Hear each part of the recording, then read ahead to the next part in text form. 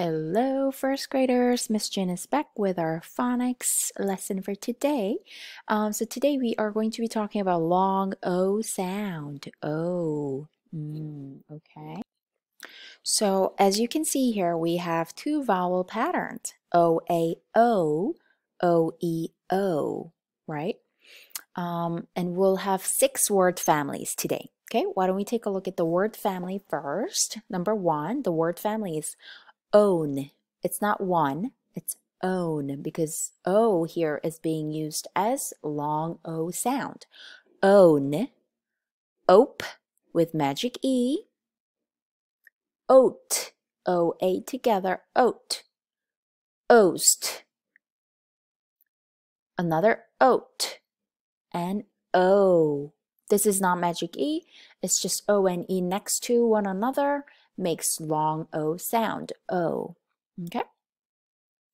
All right, so let's take a look.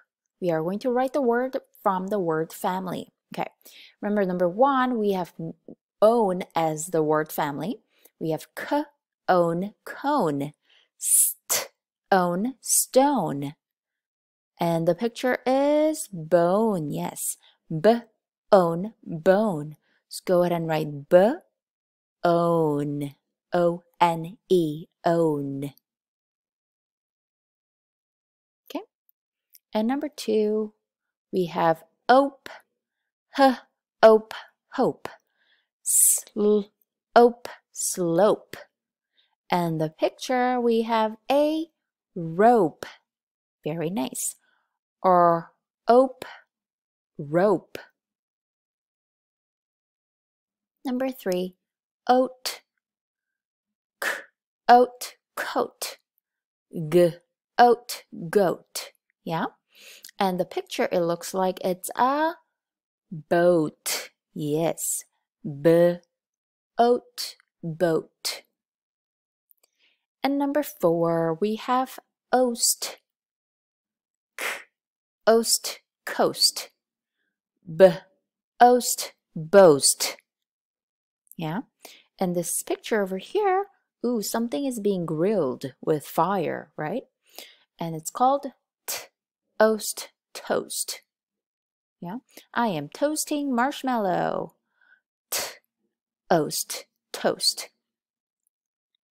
Yeah, and coast and boast, Miss Jin showed you a picture of these two words um, during Zoom session this morning. Coast is like coastal line, it's ocean side. And boast is, I could say, it's not so good to boast about yourself. Yeah, it's like saying, Ooh, I am good at this, I am good at that, I'm better than you. Yeah, that's like boasting. Okay, that's boast, oast. And next, oat. The or oat, the rote. Look at this, we have digraph. Yeah, we just talked about this in spelling class. When you have two letters next to one another and they make one sound, then it's digraph.